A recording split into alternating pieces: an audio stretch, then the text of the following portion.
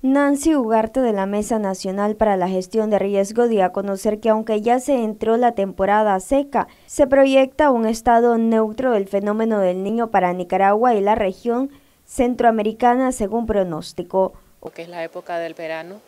ah, hemos experimentado una reducción de lo que es la, lluvia, o sea, hemos tenido un déficit eh, de lluvias que ha incidido sobre lo que es el agua para el consumo humano y también para otras actividades este, del hogar o de la producción.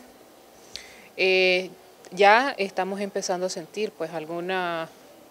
efectos, o mejor dicho, el clima un poco ya más caliente, más normal pues de lo que sería el verano, una reducción de las lluvias que pues son propias del periodo, sin embargo pues estamos bastante distantes de la época fuerte eh, de lo que es el incremento de las temperaturas y la reducción de la lluvia que es más o menos en la fecha de marzo o abril y mayo eh, de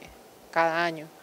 Eh, esto pues significa de que aunque estamos empezando pues este periodo, eh, podríamos experimentar más adelante pues un periodo seco. Sin embargo, eh, los últimos pronósticos sobre el monitoreo del fenómeno climático del niño, que para nuestro país o para la región centroamericana trae una reducción de la lluvia, es de que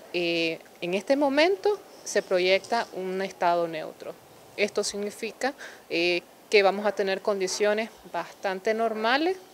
del periodo, es decir, pues que aunque se experimente algún déficit de, lluvias, pues hasta el momento el pronóstico dice que esto no va a ser eh, una sequía como en años anteriores. Sin embargo, eh, sí hay un llamado a que siempre eh, tomamos este, acciones para preservar lo que es el líquido del agua, no desperdiciarlo, hacer cosechas de agua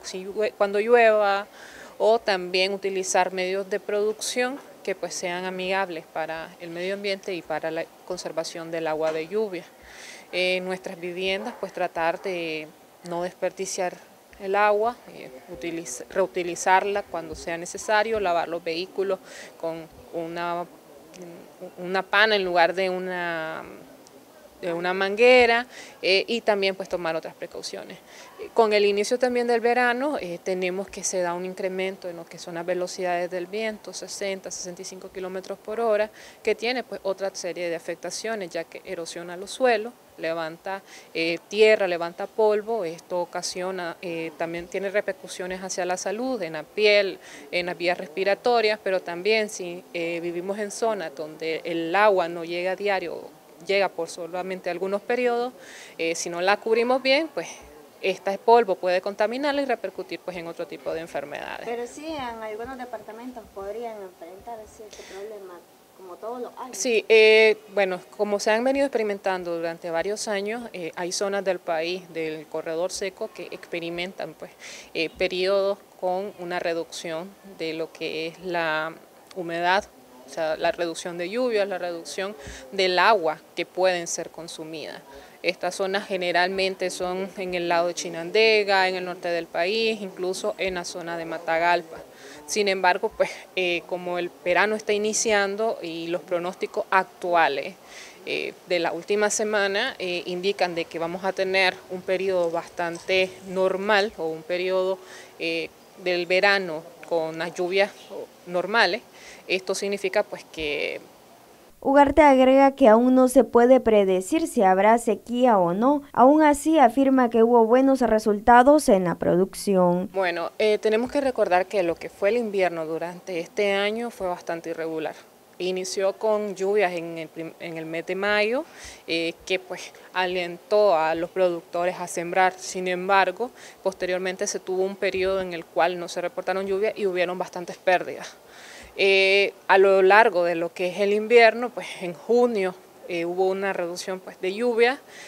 también hubo bastantes pérdidas en lo que es la siembra de primera, un 60%, 70, 80%, inclusive en las zonas del, más, del corredor interno del corredor seco donde tenemos mayor inclemencia de lo que es la sequía, pero que pues en los últimos meses lo que se ha registrado pues es un, un incremento pues, de la lluvia. Las lluvias que cayeron en el mes de octubre lograron eh, reducir un poco lo que fue el impacto de las pérdidas de primera, entonces se pudo sacar eh, o se está sacando pues algunos, algún buen porcentaje de lo que es la producción. Incluso hay zonas en Condea, por ejemplo, en donde algunos productores incluso están apostando para sembrar en lo que es la siembra de apante, o sea que con la humedad que quedó de las lluvias de octubre, y la primera quincena de noviembre, ellos están esperando pues sacar todavía alguna producción de frijoles o de maíz.